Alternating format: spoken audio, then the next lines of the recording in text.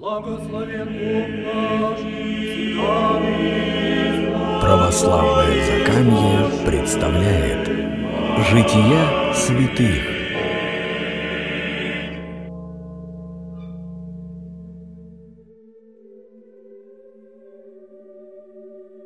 Святая великомученица Варвара родилась в IV веке в Сирии в семье знатных язычников. Мать Варвары умерла рано, и отец ее Диаскор был настолько привязан к дочери, что запер девушку в башне, желая уберечь ее от посторонних людей. С высоты, где одиноко жила Варвара, открывался вид на прекрасный бескрайний мир. Днем девушка могла видеть реки, леса и поля, убегающие за горизонт. Ночью она любовалась звездным небом. Скоро затворница стала думать о том, как велик должен быть творец этой невероятной красоты. Мысль, что идолы, которым поклоняется ее отец, могли создать такое совершенство, казалась Варваре невозможной.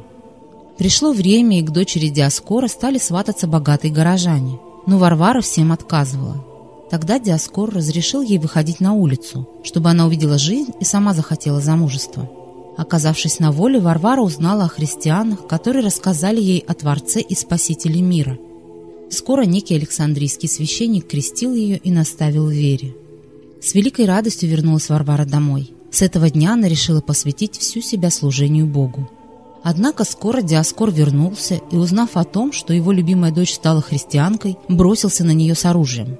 Варвара в страхе бежала в горы, но отец нашел ее и привел на суд к правителю города – Диаскор при всех отказался от дочери и отдал ее в руки мучителей. Варвара без страха исповедала себя верующей в Господа Иисуса Христа. За это ее жестоко избили и бросили в темницу.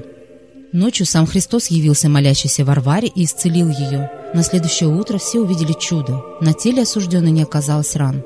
Вдохновленная такой милостью, христианка по имени Иулиания при всех исповедала свою веру и пожелала разделить с Варварой страдания – Обеих девушек стали долго и изощренно пытать, стараясь продлить их мучения как можно дольше.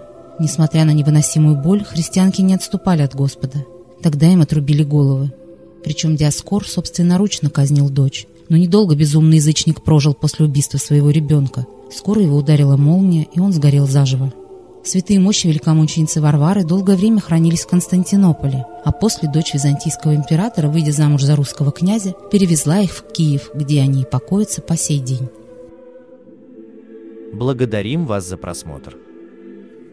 Смотрите другие наши видео. Лучшая ваша благодарность за наши труды – это лайк и подписка. Подписываясь, не забывайте нажимать колокольчик, чтобы сразу узнавать о наших новых видео.